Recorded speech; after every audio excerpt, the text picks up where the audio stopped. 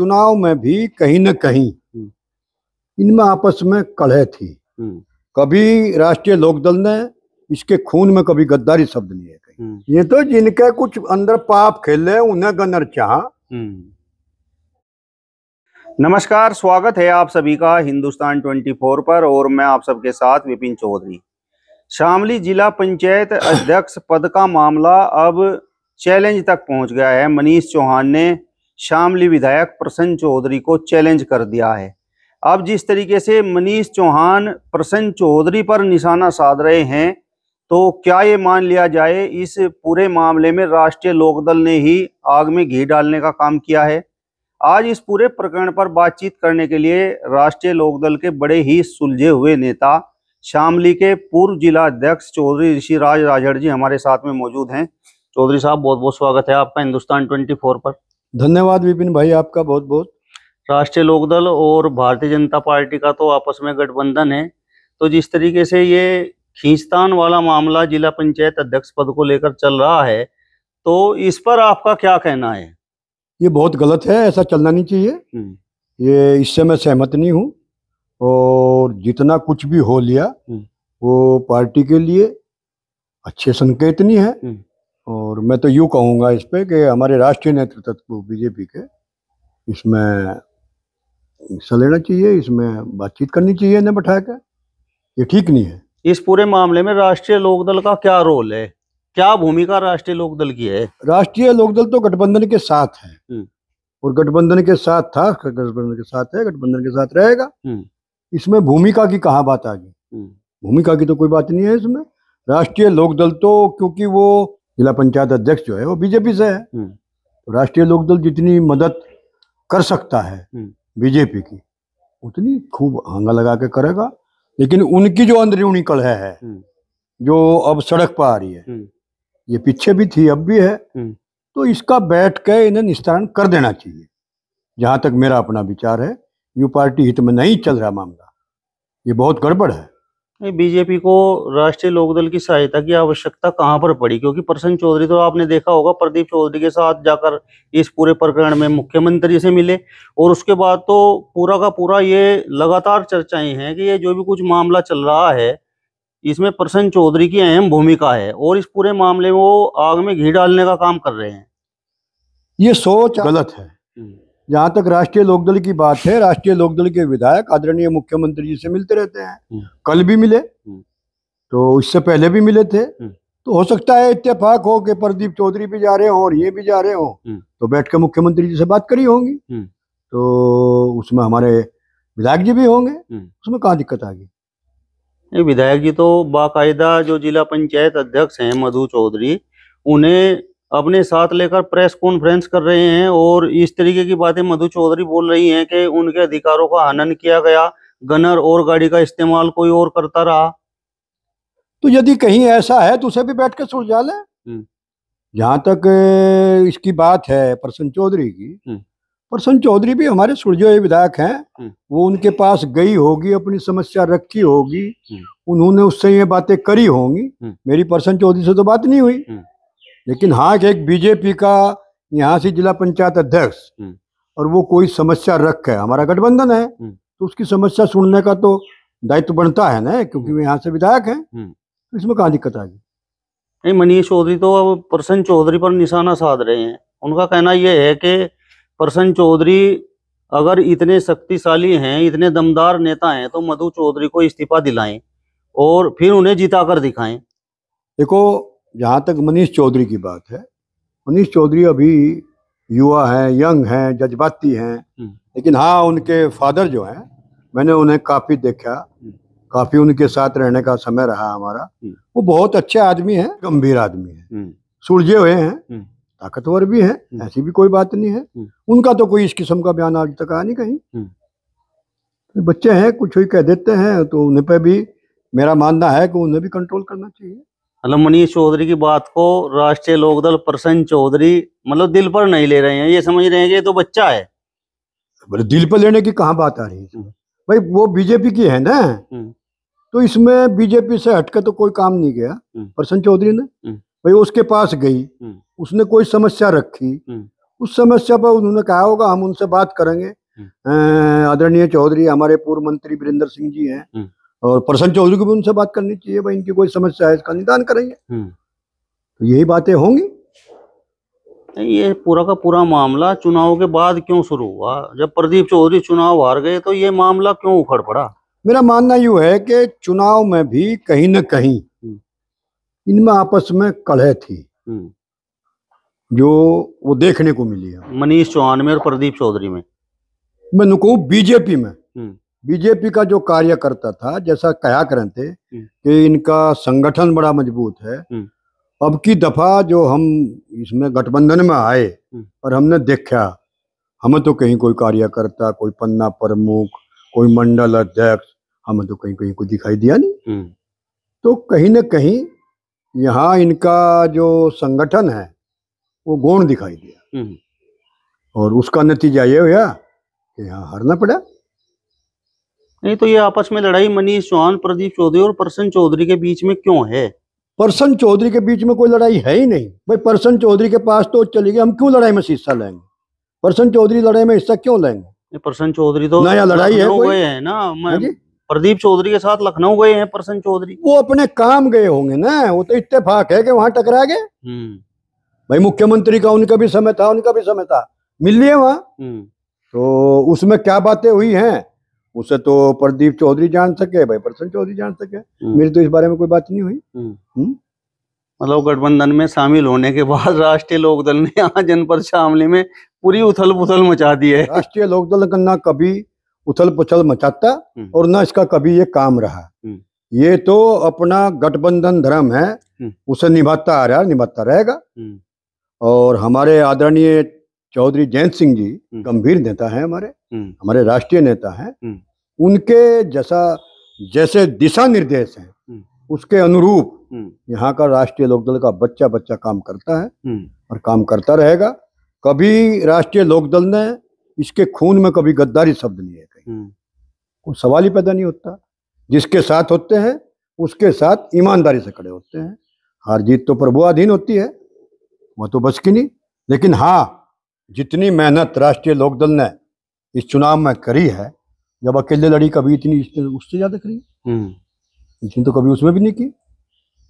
तो हम यही कर सकते थे यही किया। तो फिर मनीष चौहान ये बात लगातार क्यों कह रहे हैं? मीडिया के सामने आपने भी दो तीन वीडियो देखे होंगे। उनका कहना यह है कि प्रसन्न चौधरी प्रदीप चौधरी एक महिला के पीछे खड़े होकर लड़ाई लड़ रहे हैं। अगर इनमें दम है तो आमने सामने आकर बात करें ना।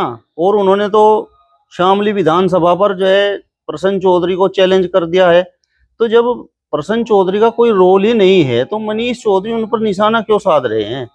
मेरी समझ से बार बात है। मनी मैंने बताया ना मनीष चौधरी को इस किस्म की बातें नहीं करनी चाहिए हम्म। मीडिया के सामने। हम्म। ये तो इनका अंदरूनी मामला है इसे घर में बैठकर सुलझावे हम्म, और हमारे आदरणीय पूर्व मंत्री जी बड़े हमारे वरिष्ठ बड़े सीनियर नेता हैं। वीरेंद्र सिंह जी चौधरी वीरेंद्र सिंह जी। हम्म, बड़े उनका सुना कहीं आपने कोई बात? हम्म।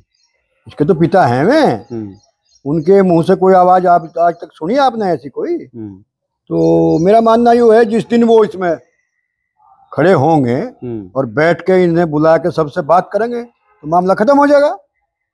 वो सुलझे हुए आदमी है। और इस तरीके की बातें नहीं करनी चाहिए मेरे हिसाब मतलब मनीष चौधरी को शामली जनपद की राजनीति में आप लोग सीरियसली नहीं लेते। अरे सीरियसली तो जीप लेम उनके तो बट्ठे बटे वहाँ से बस सीरियसली की नहीं है? हम्म, ठीक है उसने राजनीति में आगे कदम बढ़ाया है। हम्म। और पिता परमेश्वर उनको सदबुद्धि दे हम्म। और वो आगे बढ़े। होनहार है लड़का। उसमें भी कोई दो राय नहीं है। उसका शौक है राजनीति करने का हम्म। लेकिन उन्हें थोड़ा सा संयम बरतना चाहिए हम्म, और उसी के दायरे में रहकर काम करना चाहिए। हम्म। कुछ लोग ये चर्चा कर रहे हैं कि राष्ट्रीय लोकदल का पता नहीं 2027 तक गठबंधन में रहेगा या नहीं रहेगा। लेकिन भारतीय जनता पार्टी में अलगाव का बीज ज़रूर राष्ट्रीय लोकदल ने बो दिया। ये मैं नहीं कह रहा हूँ कुछ लोग चर्चा कर रहे हैं। होते हैं कुछ खुरापाती लोग भी।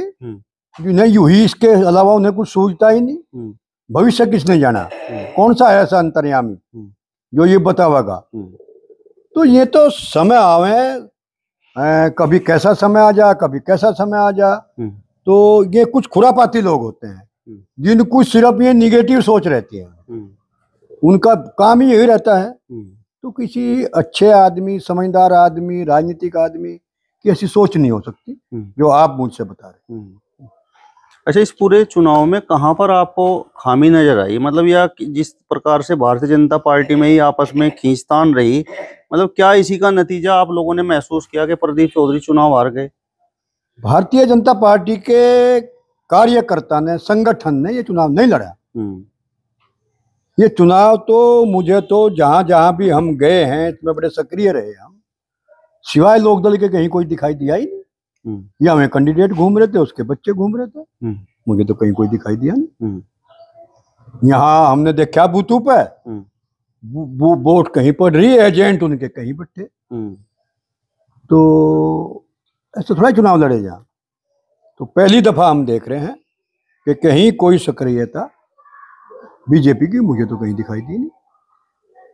मतलब ये आपने महसूस किया कि सुरेश पाल राणा आपके तेजिंदर निर्वाल चौधरी वीरेंद्र सिंह मनीष चौहान मरगांका सिंह अनिल चौहान ये जितने भी भारतीय जनता पार्टी के बड़े नेता हैं ये कहीं चुनाव में दिखाई नहीं दिए। आपने तो बहुत सारे नाम गिनवा गिरे मैं इसमें इस लफड़े में नहीं बढ़ता। मैंने कहा लगा के पन्ना प्रमुख है हम्म, और बड़े नेताओं तक। हम्म, जैसे चुनाव लड़े जा मुझे में कहीं चुनाव लड़ते दिखाई नहीं दिए। हम्म, संगठन कहीं चुनाव लड़ता नहीं दिखाई दिया। ये है। राष्ट्रीय लोकदल की क्या भूमिका रही? राष्ट्रीय लोकदल तो कट कट के लड़ा हम्म, जितनी मेहनत कर सकता था उतनी मेहनत की है। हम्म, उसे सब जानते हैं सब जग जग ज़ाहिर है। हम्म, सबके सामने है। आप इस बारे में कैंडिडेट से भी पूछ सकते हैं। और आप तो पत्रकार हैं। आप भी इस क्षेत्र में काफ़ी सक्रिय रहते हैं काफ़ी मेहनत करते हैं। गाँव दर गाँव और ज़्यादा लोगों से आप बातचीत करते हैं मिलते हैं हम्म, शायद आपको भी वही दिखाई दिया होगा। हम्म, लोकदल के दिखा अलावा आपको सड़क पर कोई कार्यकर्ता दिखाई नहीं दिया होगा। हम्म, अब तो खुद जानकारी है आपको। मेरे से क्या पूछ रहे हैं आप? आपको जानकारी है? जब राष्ट्रीय लोकदल और भारतीय जनता पार्टी का आपस में गठबंधन है और जिला पंचायत अध्यक्ष भी संयुक्त रूप से राष्ट्रीय लोकदल की भी है और भाजपा की भी है जी। तो प्रसन्न चौधरी विधायक हैं। जी। तो इस पूरे मामले में आखिर सुलह कराने का प्रयास प्रसन्न चौधरी की तरफ़ से क्यों नहीं हो रहा है? जिस तरीके से मनीष चौहान लगातार आरोप लगा रहे हैं प्रदीप चौधरी पर हमलावर हैं प्रसन्न चौधरी पर भी सवाल उठा रहे हैं। तो मैं कह तो रहा हूँ कि प्रसन्न चौधरी को भी बैठ कर बात करनी चाहिए। हम्म, मैंने कब कहा कि उन्हें बात नहीं करनी चाहिए? हम्म, और मेरे ख्याल से तो जिस दिन चौधरी वीरेंद्र सिंह इन्हें सबको बुला के बैठा के बात करेंगे मामला सुलझ जाएगा। हम्म, इसमें कहाँ दिक्कत है? हम्म। तो अभी पता नहीं मैं क्यों इसमें हिस्सा नहीं ले रहे। मतलब जिस जिस प्रकार से चर्चाएँ यहाँ जनपद शामली में हो रही हैं तो क्या वास्तव में मनीष चौहान आपको लगता है कि जिला पंचायत अध्यक्ष की गाड़ी उनके गनर और तमाम तरीके की सुविधाओं का इस्तेमाल कर रहे थे? मुझे कोई जानकारी नहीं इस बारे में। मैं खाम खा किसी पर दोष लगा दूँ हम्म। जब मुझे कोई जानकारी नहीं इसमें। हम्म, भाई मनीष चौधरी क्या कर रहे थे? ये तो सच्चाई है कि भाई मनीष चौधरी ने उसे अपनी सीट से लड़ा के जिला पंचायत भी बनाया हम्म, और अध्यक्ष बनाने में जब तो हम उनके खिलाफ थे हम्म, काफ़ी इनका अहम रोल रहा हम्म। और इसे जिला अध्यक्ष बना तो उसमें एक अपना अधिकार सा भी समझता है। भाई जिसका आप जिसे आप बनाते हैं। उस पर अपना अधिकार भी तो मानता है आदमी। लेकिन कुछ मनीष चौहान हर ऐसे तो है नहीं वैसे ही है। तो घराने से हैं। हम्म, और उन पर गाड़ी घोड़े के तोड़े हैं कहीं। हम्म, ऐसा थोड़ा ही है कि भाई उन पर गाड़ी घोड़ी के कहीं तोड़े हैं कि भाई वे जिला पंचायत की गाड़ी से घूमेंगे। हम्म, लेकिन वो एक कह रहे हैं ऐसा हो सके कभी इस्तेमाल भी कर ली हो। भाई उनकी गाड़ी ना हो इत्तेफाक हो जाता है ऐसा ऐसा भी हो सके। लेकिन इस बारे में मैं वैसे ही कुछ कह दूँ। मुझे कोई जानकारी नहीं है। कि भाई ना इन्हें गंदरू की कहीं ज़रूरत है। गंदरू की कहाँ ज़रूरत पड़ रही है? हम्म, ये सब अच्छे लोग हैं। ये तो जिनके कुछ अंदर पाप खेले उन्हें गंदर चाह। हम्म, जिनकी आत्माओं में वे कहीं छुप रहे उनके दुष्कर्म हम्म, उन्हें वे बड़ी बड़ी फौज चाह। गंदरू की?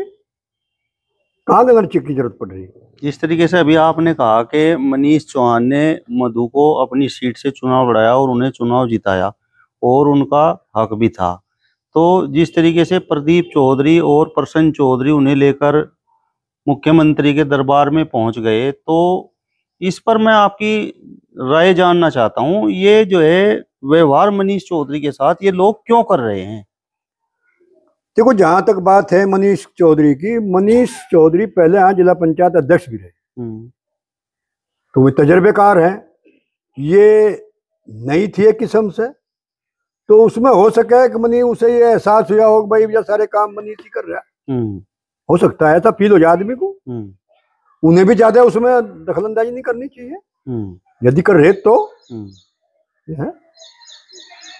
तो फिर प्रसन्न चौधरी और प्रदीप चौधरी ने मधु को ये विश्वास दिलाया कि अब हम जो तुम्हारे अधिकार हैं वो दिला दिलाएँगे और इसलिए वो उन्हें लखनऊ लेकर चले गए। लखनऊ तो क्योंकि लखनऊ उनकी यहाँ से हमारे योगी जी हैं सर्व सर्वातो प्रदेश के। हम्म, तो उनको सामने अपनी समस्या रखी। हम्म। उसने तो उस पर उन्होंने क्या उन्हें आश्वासन दिया? हम्म, तो भाई अपनी समस्या तो कहीं बताओगा आदमी जाकर तो उन्होंने आला कमान जो है हमारे प्रदेश का उसके सामने अपनी समस्या रखी चेयरमैन ने। न कि प्रसन्न चौधरी ने प्रदीप ने। उसे कोई दिक्कतें हैं? हम्म, वो हमारे आदरणीय मुख्यमंत्री जी उन्हें बुला के उनकी सोल्व कर देंगे। हम्म। अब फिर वही सवाल है सवाल ये है कि चुनाव के बाद ही ये दिक्कतें शुरू क्यों हुई? चुनाव सब पहली है दिक्कत तो ये जो कुछ है चुनाव के बाद तो सब सब पहले चुनाव में लग रहे थे लोग। अच्छा। चुनाव जैसे समाप्त हुआ तो ये जो समस्याएँ हैं उसके बाद तो काफ़ी समस्याएँ हैं ना? हाँ। जो समस्याएँ हैं उनके समाधान के लिए फिर आदमी प्रयास करते हैं घूमते हैं। यह ये है। चलिए तो चौधरी ऋषिराज जी को आपने सुना। फ़िलहाल इस वीडियो में बस इतना ही। अगली वीडियो में फिर आपसे मुलाकात होगी। तब तक बने रहिए हिंदुस्तान 24 के साथ। नमस्कार।